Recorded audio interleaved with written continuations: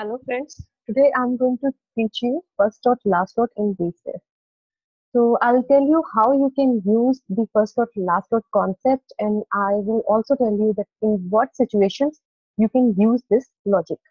So first dot last dot is basically very useful when you are going to get a count of your uh, data set observations on a particular grouping.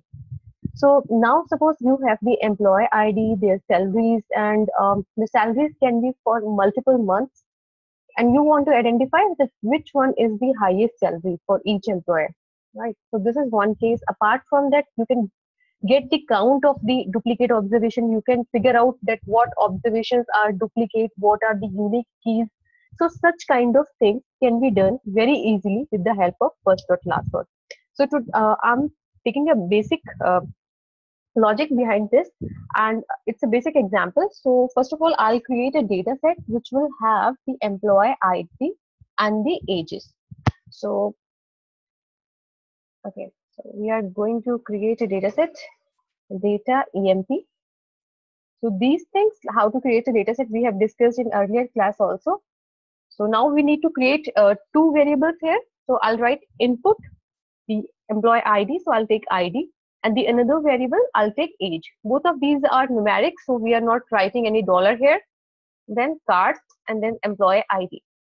So at different point of time, a, a customer can have a different ID, sorry, different age. So suppose this has the age 50 now, so after one year it can be 51.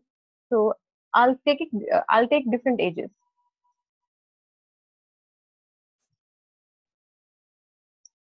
And uh, 45, 4, 56, 58, something like this. So this will create, my, if I execute this code, this will create my dataset EMP, which will have the ID and age as variables and their values. Now, let's create this dataset and let's take a look if dataset has been created yes dataset has been created if i double click on this. Okay so what's the problem? Because there is no variables so let's take a look. Because we have a semicolon missing we need we need to write the semicolon here. That's the reason that there was there were no um, values inside the now you can see that we have the values. All right so i'm going to close this and i'm going to start working on the uh, first dot last dot logic very important thing while you are working on the first dot last dot first of all you have to figure out that on what key you want to apply this operation. So suppose uh, i want to figure out that what is the maximum age for each employee id so that means the grouping on which i'm doing is the employee id because on employee id i'm doing the grouping right? So the variable on which you want to do the grouping you need to make sure that your data set is sorted by that key. So first of all, what we will do here, first of all, we'll sort out our data set. So we will use the proc sort. Proc sort, then you have to tell what data set you want to sort. I'm going to set sort my EMP data set. You have to write by which key. So why ID. I want to sort it out and then run. Now it will sort your data set EMP. Okay. So here, if you execute this program, now your data set will be sorted by ID. So you can see all of the IDs are in sequence and in increasing order. The next step will be you have to create a new data set. Suppose uh, EMP underscore temp. And here And here what I'll do, I'll set my dataset EMP. Another important thing here, when you are going to set your dataset, you need to make sure you mention the key as well. So your grouping key is ID. So you'll write by ID. So two important things. First is your dataset should be sorted by your key, which is your ID, which has been used for the grouping purpose. Then when you set this dataset in another dataset, you have to mention that by id it should put the values. Then you will write the run. Now if i execute this data set what will happen in the uh, backend by default when uh, inside the emp underscore temp it will create two automatic variables which is first dot id and last dot id so this is if your data set is sorted by your uh, a particular id or like particular key and then when you set that data set inside another data set by mentioning that key by default SAS will create the first dot and first dot ID because why first dot ID? Because your grouping variable is your ID and then last dot ID, it will create these two variables in the backend. Now, if I want to check if it, if it has created those variables or not, what we can do, we can create some uh, temporary variables like t underscore f. That means temporary first dot ID equals to, I want to keep it here first dot id. I know that when I set these things, SAS has created first dot id in the backend. This variable has been created. So now to test this thing, if SAS has already done this thing or not, I created a new variable and put the value first dot id here. The similar way, I'll create another variable t underscore l, which will keep the value of last dot id. And now if I execute this, okay i'll do one more thing that i will print this data set so that i do not have to click on this employee underscore temp and then it will open the data set. So i'll write here emp underscore tmp and run. So it will print the output on the screen as well. So now if i execute this you can see yes first dot id and last dot id has been created that's the reason that we have we can get the values here so now I am going to explain you the concept of first dot and last dot. Very important things. So uh, here you can see that what uh, I'm going to tell you how first dot and last dot works here. So this is the ID one. For ID one, this is the age 50. So what will happen? It will check that this is the first time when ID one is appearing. Yes, if it's yes, the first dot id variable will be 1. If this 1 is appearing the last time, no. Why? Because we have one uh, another one as well. So that's the reason this is not the last. So you will get the 0. Now when you come to the next observation, it will ask again the same thing. If this one ID is appearing first time, no, it is not appearing first time because it has appeared earlier as well. So that's the reason that we put the value of first ID here 1.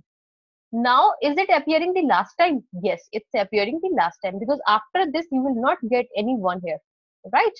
So that's the reason that last dot ID is 1. Now for this 2, is it appearing the first time? Yes, because 2 has not appeared earlier, right?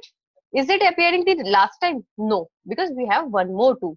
So now when you come on this, right, you will see that here it, it's appearing the first time no it's appearing the last time yes and similar in similar way we can see that for 3 and 4 we have also values what will happen if the value if the id appears only once like suppose we will update this example and we'll write the id here and some value we can give there if i execute this program here so 5 is appearing only once so it will ask if this is appearing first time yes is it appearing the last time as well? Yes. So in this case, both values will be 1. Right? Otherwise, the values will be depending on the appearance. Now, if I ask you that can you give me the distinct IDs? So how you can figure out with the help of first dot last dot ID uh, that what are the values which are distinct. So when the first dot ID that means when first dot id equals to 1 those are the observations which have the unique ids right?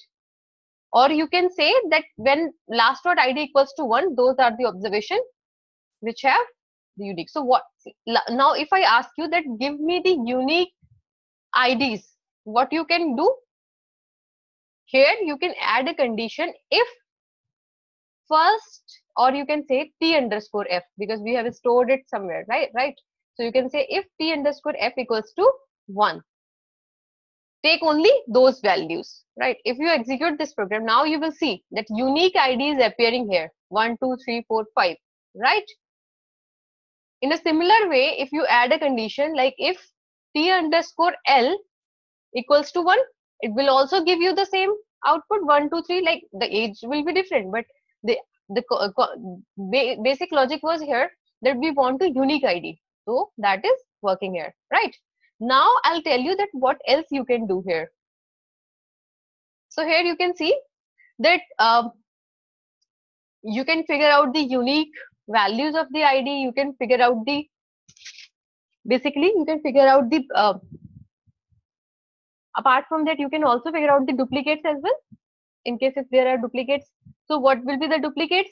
Where this first dot id will not be equals to uh, 1 those will be the cases of duplication right? So such kind of things can be done very easily. Now i'm going to you tell you that how you can figure out that how many uh, observations we have for id1 how many observations we have for id2 how many observations we have for id3 and 4 and 5 you want want a count here. So what you can do here how can you get the count when id is appearing first time create a new variable right so let's create a new variable here suppose new variable is here so now if ID is appearing first time, the counter should have a value 1.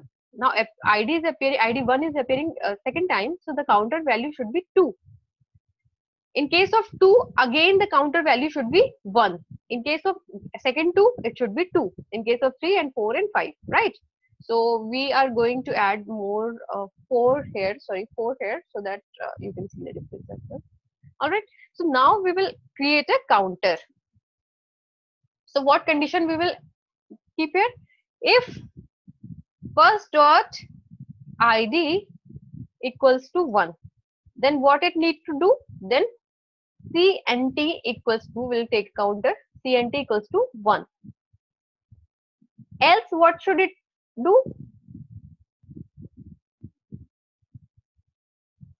Else it should do cnt plus 1. right? So in case if it's first dot id, it should write cnt equals to 1.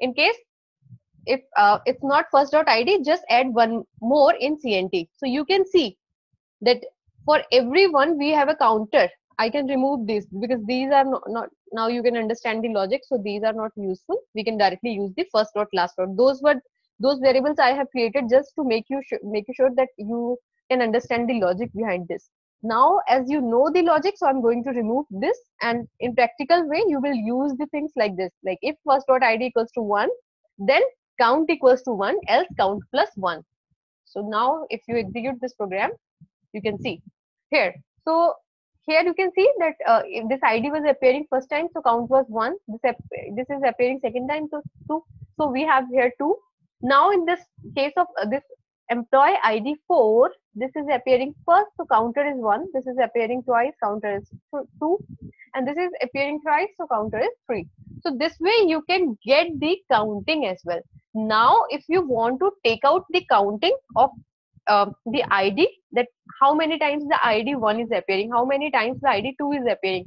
So what logic you can do do you know that the last the last uh, value that means last dot id will give you the count.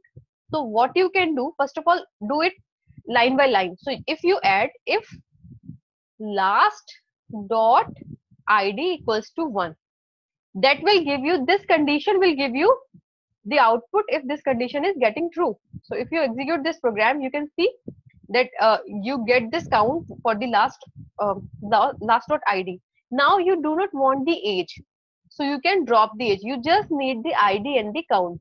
So what you can do here, you can write drop age. So this will drop the age here. Now you have the IDs and their counting, respected counting. So it's very easy, right? This way you can create your countings and uh, in the next class, I'll tell you that how this can be used for uh, multiple variables as well so if you want to use it for uh, two variables, so let me tell you like how you can do that now. So what you can do if you want to apply first dot last dot on two variables, you can mention those variables here. Like I want to apply it on ID and age both. So by ID and age, I'll write here. And then here also I'll set by ID and age. And here you can write if first dot ID and uh, last. So basically it will create four variables. First, if you are using two, like here, if ID and age, so it will create first dot ID, last dot ID, it will create first dot age, last dot age. And here also you will set by first ID and age. So this you can try at home and let me know if you have any doubt on this, but this is sort of your homework. So you need to try this thing at, at home and you need to uh, tell me that if you like my video, subscribe my channel and provide me the uh, updates, what else you want to learn. I'll upload the videos accordingly. Thank you guys for watching this. Have a nice day. Bye.